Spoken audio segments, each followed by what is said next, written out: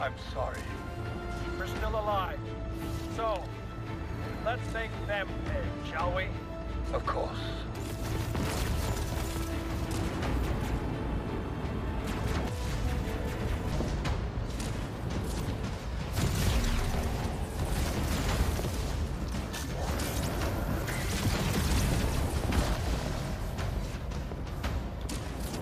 Hello everybody, in this video I'm going to take a look at Chorus. This is a third-person space shooter slash adventure game. In this game, uh, you're going to follow uh, Nara, you're going to play as Nara, which is on a quest to destroy the dark cult that created her.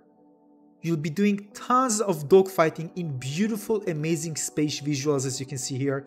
You're going to upgrade your ship, get new abilities, go into side quests, and of course follow the main story, which is really cool as well. And by the way, I'm playing this on the PlayStation 5, but of course also a PC version. So first let's talk about the RPG elements, how you get some stuff, upgrade things, stats uh, for your spaceship, etc. So in this screen, by the way, you can see it, you can access it on PlayStation, just tap the uh, touch uh, button and you get to see your ship. You can see all the different weapons you unlock as you progress. There are also different modes that improve uh, your uh, stats of the ship and provide you unique utilities. Uh, here's the shield that regenerates and also your HP of the ship which you can increase again as you progress and find new items. Now although you don't have tons of weapons here, only a few they are really really fun to play. You have your Gatling gun, your lasers, your missiles, uh, so you can switch and between them and of course let's not forget that you have also your uh, abilities which is actually Nara's abilities which you unlock also as you progress. It allows you to do some really really cool things. So you can see the different mods that you can use. And if you combine bonus some of them with different type, you can actually get extra benefits. So plenty of them to use. But again, it's not overwhelming, yeah, but still enough to really get you satisfied with combat and not to overwhelm players. Uh, the overall general, by the way, playtime for me was 20 hours and I did quite a lot of few of side quests as well. Here you can see Nara's rites, unique abilities which are really really fun to use in combat. And some of them, by the way, require you to use in different puzzles which the game have. Some of it racing, some puzzles that you need to solve.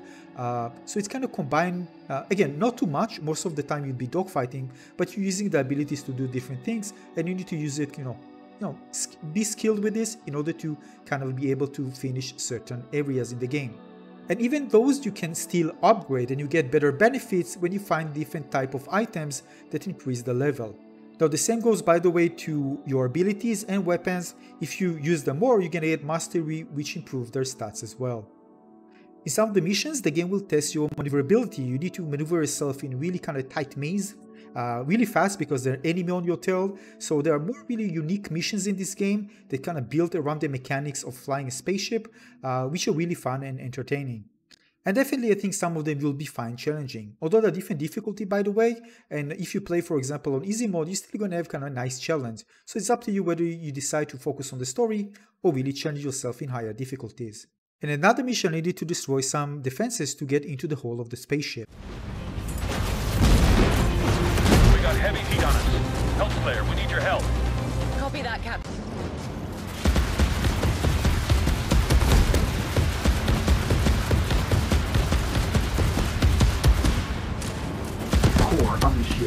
Unshield. Fire.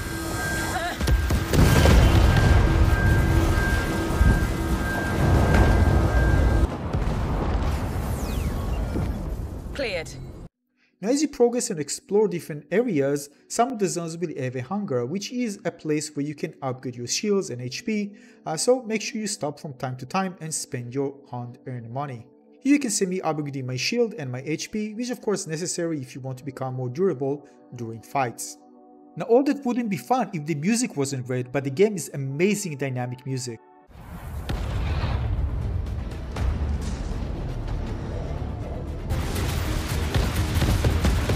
Chirac and Kea are ready to dock. I got you covered.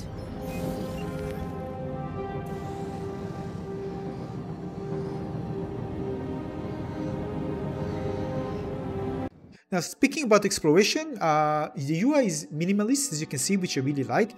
Uh, the thing is that some of the icons being used for two things. For example, uh, using the icon, like you see this little arrow that shows you some of the items you can actually find and pick up.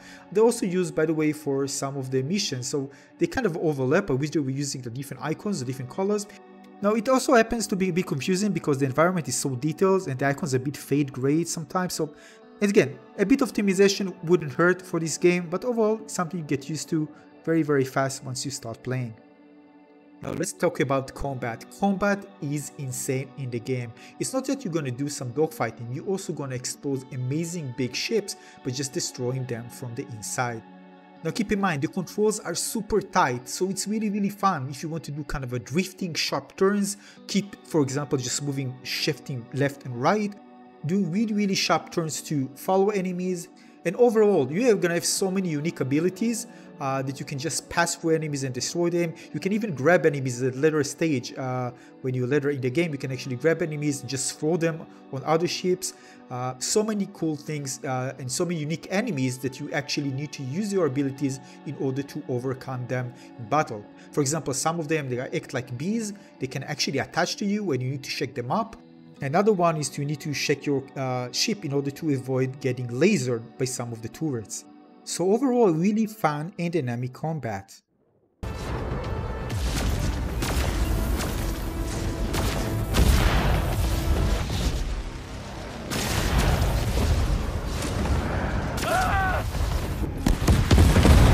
Collision course terminated. Yes.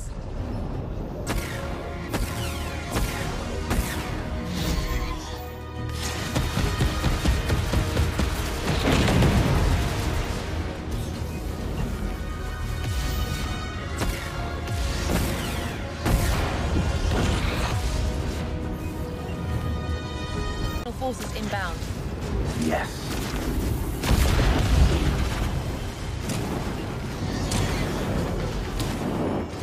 Got him. Not now.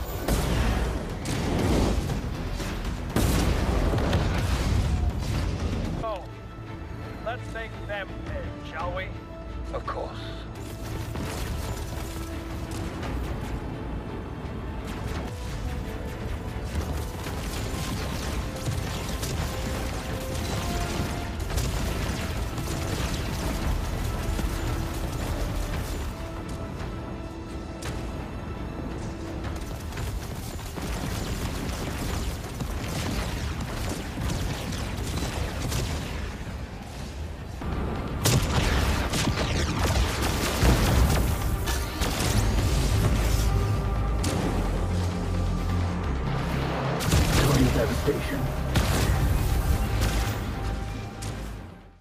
Now all of it wouldn't be complete without having some epic boss fights, and there are, but unfortunately not many, but those that I actually did play were actually fun.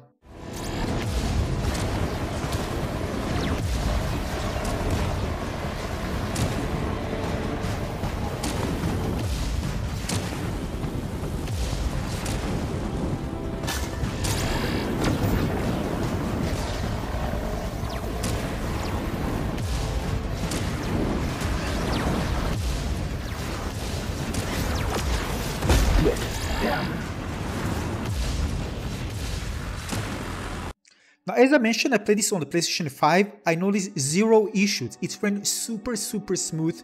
Uh, there are two options you can use, performance or resolution. So in the menu, in the settings of the game itself, so you can try it out uh, and play with the two. I play performance mode.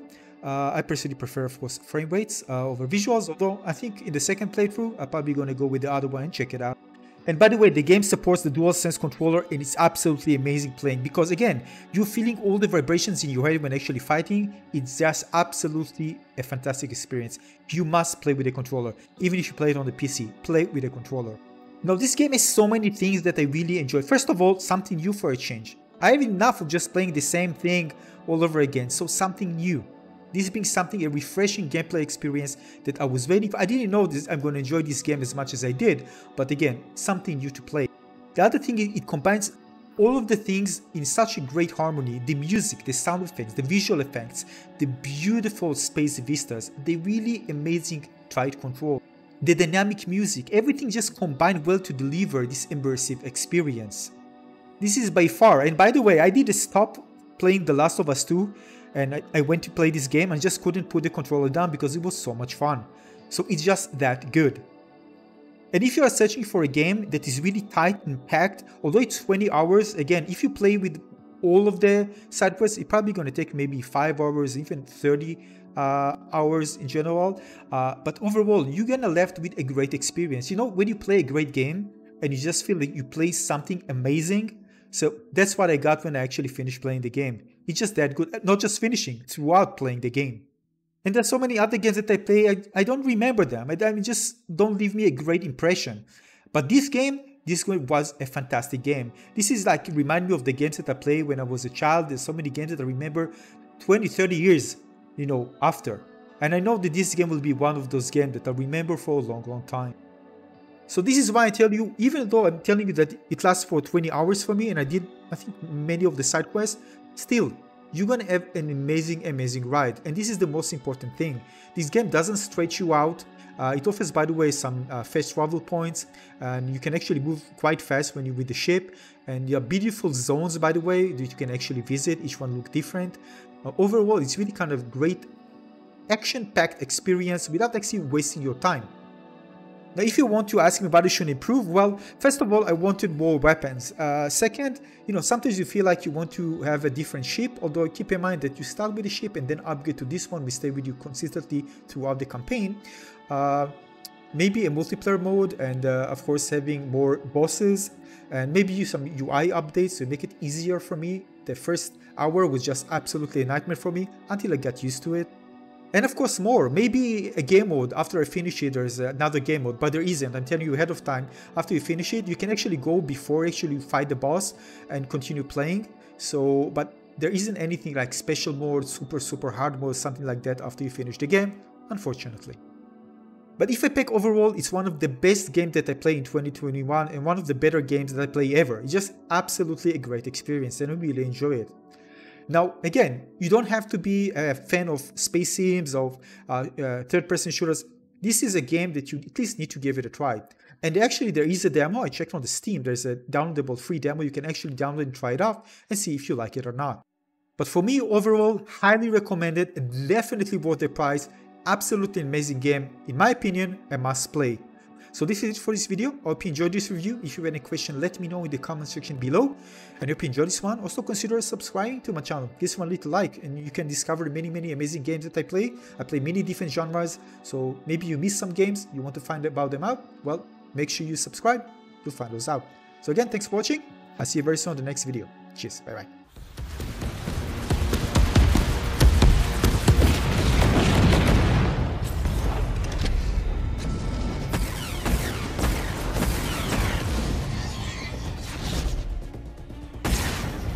Devastation.